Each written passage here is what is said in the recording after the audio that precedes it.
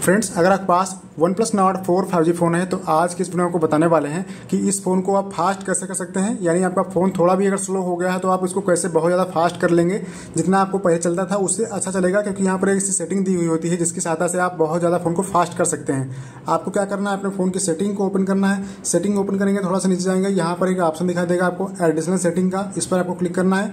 फिर यहाँ एक्सेसिबिलिटी मिलेगा एक्सेसिबिलिटी पर क्लिक करना है। एक्सेसिबिलिटी पे जैसे क्लिक करेंगे तो यहाँ देखिए विजन दिख रहा है जनरल अलग अलग ऑप्शन दिख रहे हैं तो आपको विजन वाले पे क्लिक करना है। यहाँ पर देखिए सब कुछ ऑफ़ दिख रहा है। तो यहाँ पर आपको क्या करना है? रिमूव एनिमेशन का ऑप्शन दिख रहा है। इसको आपको इनेबल कर देना है। ये डिसेबल होगा। इसको आपको इनेबल कर देना है। एक सेटिंग आपकी ये हो जाएगी। इससे फ़ोन आपका बहुत कहीं पर अटकेगा नहीं। बहुत ही फास्ट चलेगा। दूसरा आपको क्या करना है? यहाँ पर देखिए, आपको दिखा देते हैं। यहाँ पर आपको सर्च करना है। अपनी सेटिंग में जाना है और यहाँ पर लिखना है रिफ्रेश रेट देखिए स्क्रीन रिफ्रेश रेट लिखा हुआ है। यहाँ पर आपको क्लिक करना है।